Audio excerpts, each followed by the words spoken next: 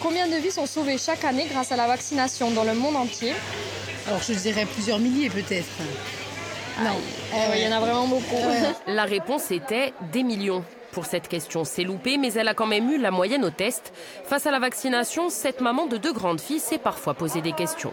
Rougeole, oreillon, rubéole, vaccination dès la naissance, je dirais, puisque c'est une obligation et tout, on ne se pose pas la question. Et par contre, euh, celui que j'ai pas fait, voilà, c'était celui de la méningite à mes filles. Je doutais.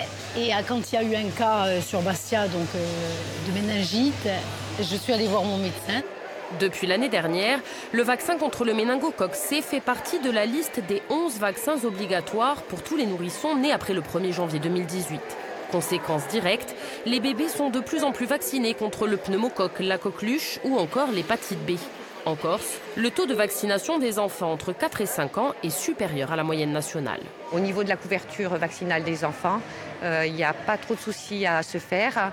Euh, des efforts à faire par rapport à euh, rougeole, oreillon, rubéole, où on obtient un pourcentage qui est encore à travailler. Et ce papa a-t-il vacciné son fils? Ah oui, oui, oui, oui, bah parce que bon, déjà, c'est un tout petit, et puis bon, bah, il a moins de défense, je suppose, à son âge que nous. Euh, il a, à part ses anticorps à lui, on va dire, il a rien, donc c'est important pour ça. Pour lui, puis pour les autres aussi. Le vaccin, bouclier pour se protéger et protéger les autres, c'est l'argument de ce spot diffusé par le ministère de la Santé. Pour les petits et les plus grands. La meilleure protection, c'est la vaccination.